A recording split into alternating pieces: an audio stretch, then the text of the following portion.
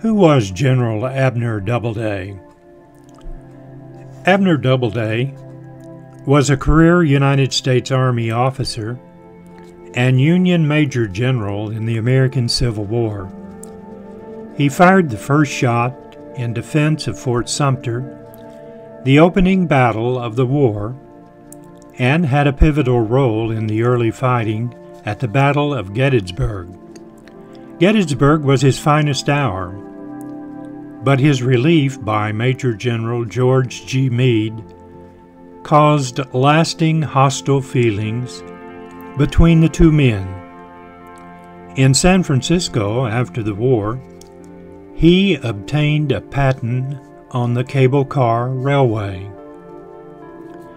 In 1908, 15 years after his death, Doubleday was declared by the Mills Commission to have invented the game of baseball, a claim never made by Doubleday during his lifetime.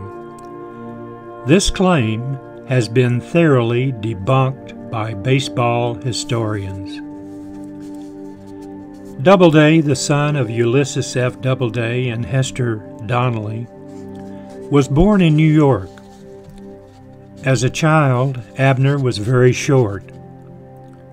The family all slept in the attic loft of the one room house.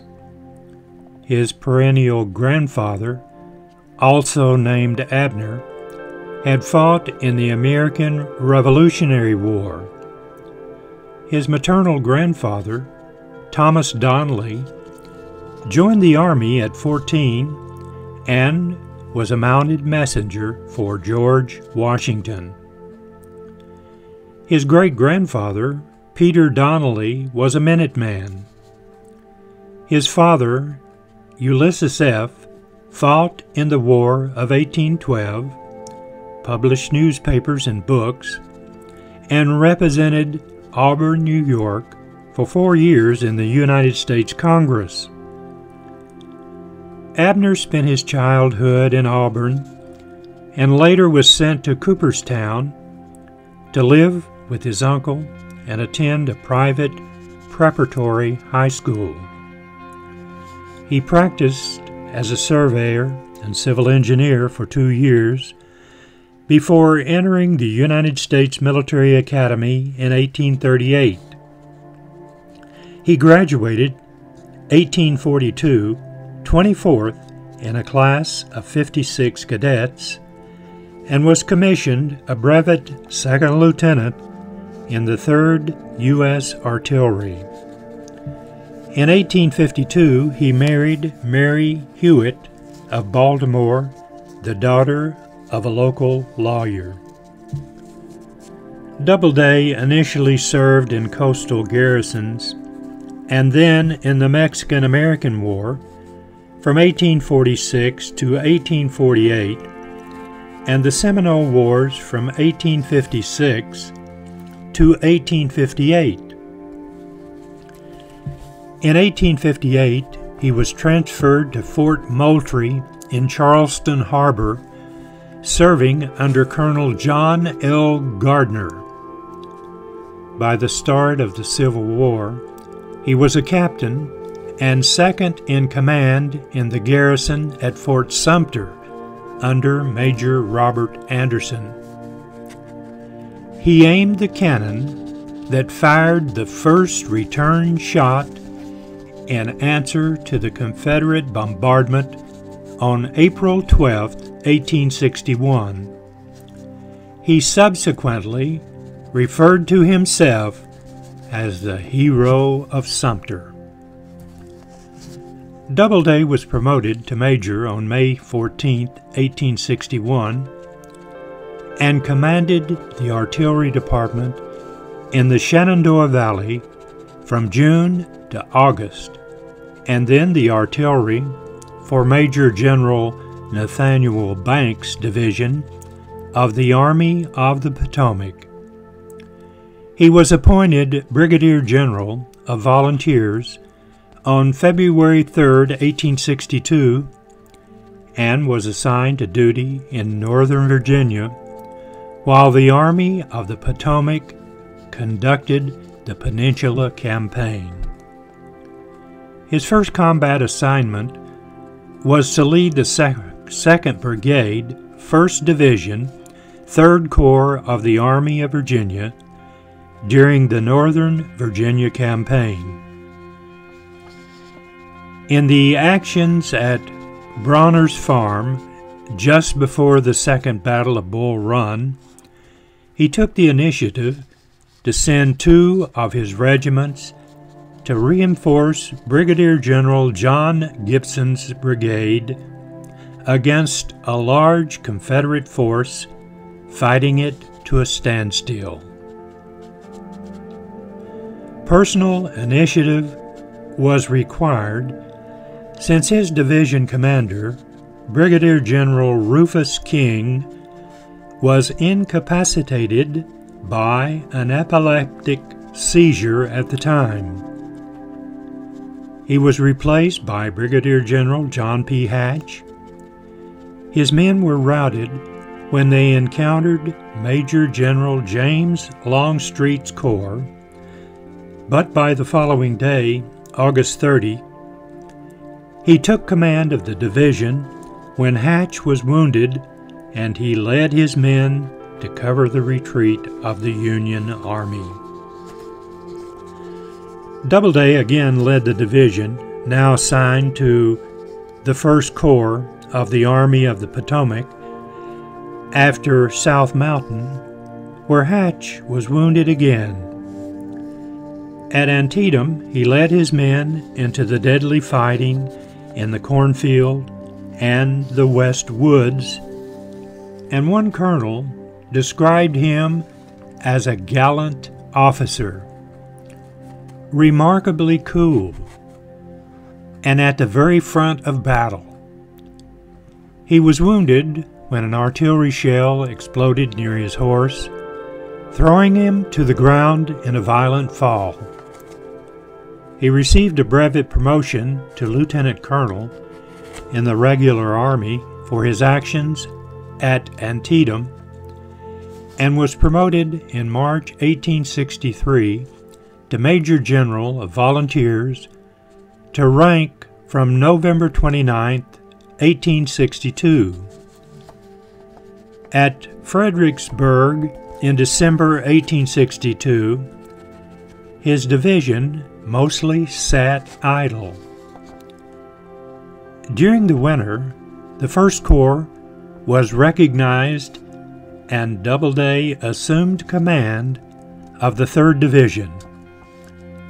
At Chancellorsville in May 1863, the division was kept in reserve.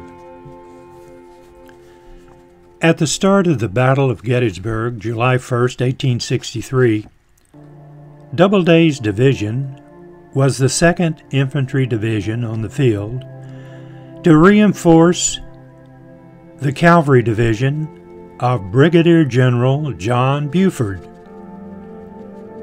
When his Corps commander, Major General John F. Reynolds, was killed very early in the fighting, Doubleday found himself in command of the Corps at 10:50 a.m. His men fought well in the morning, putting up a stout resistance. But as overwhelming Confederate forces massed against them, their line eventually broke and they retreated back through the town of Gettysburg to the relative safety of Cemetery Hill south of town. It was Doubleday's finest performance during the war, leading 9,500 men against 10 Confederate brigades that numbered more than 16,000. Seven of those brigades sustained casualties that ranged from 35 to 50 percent, indicating the ferocity of the Union defense. On Cemetery Hill, however, the First Corps could muster only a third of its men as effective for duty, and the Corps was essentially destroyed as a combat force for the rest of the battle. It would be dis- it would be decommissioned in March 1864. Its surviving units consolidated into other corps. On July 2, 1863, Army of the Potomac commander Major General George G. Meade replaced Doubleday with Major General John Newton, a more junior officer from another corps. The reason was a false report by 11th Corps Commander Major General Oliver O. Howard that Doubleday's corps broke first, causing the entire Union line to collapse but Meade also had a long history of disdain for Doubleday's combat effectiveness, dating back to South Mountain. Doubleday was humiliated by this snub and held a lasting grudge against Meade, but he returned to division command and fought well for the remainder of the battle. He was wounded in the neck on the second day of Gettysburg and received a brevet promotion to colonel in the regular army for his service. He formally requested reinstatement as First Corps commander, but Meade refused and Doubleday left Gettysburg on July 7th for Washington. Doubleday's indecision as a commander in the war resulted in his uncomplimentary nickname 48 Hours. Doubleday assumed administrative duties in the defense of Washington, D.C., where he was in charge of courts martial, which gave him legal experience that he used after the war. His only return to combat was directing a portion of the defense against the attack by Confederate Lieutenant General Jubal A. Early in the Valley Campaign of 1864. Also, while in Washington, Doubleday testified against George Meade at the United States Congress Joint Committee on the conduct of the war, criticizing him harshly over his conduct of the Battle of Gettysburg. While in Washington, Doubleday remained a loyal Republican and staunch supporter of President Abraham Lincoln. Doubleday rode with Lincoln on the train to Gettysburg for the Gettysburg Address, and Colonel and Mrs. Doubleday attended events with Mr. and Mrs. Lincoln in Washington.